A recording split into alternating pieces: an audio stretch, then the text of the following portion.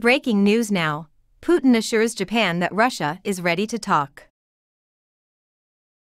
On Thursday, Russian President Vladimir Putin said that his country is ready to talk with Japan if that country makes the first move.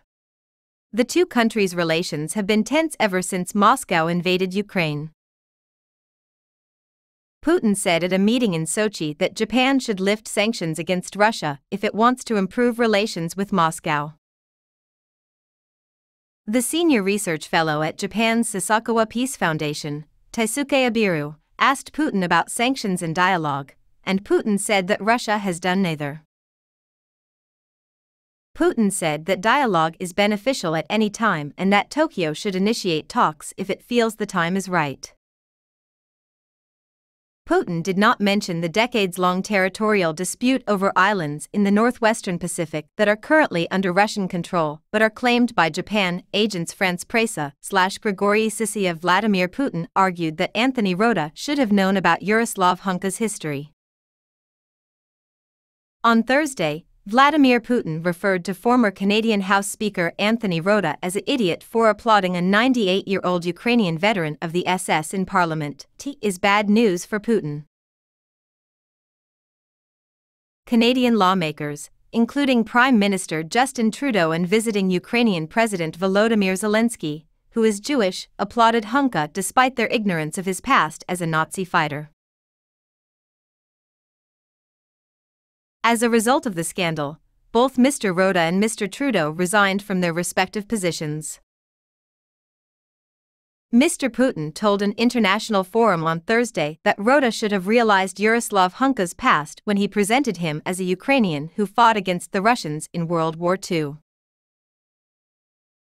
Mr. Putin said at the International Forum in Valdai, Russia, if the Speaker of the Canadian Parliament says that this Canadian Ukrainian Nazi fought against the Russians, he cannot fail to realize that he fought on the side of Hitler, and not on the side of his own homeland, Canada.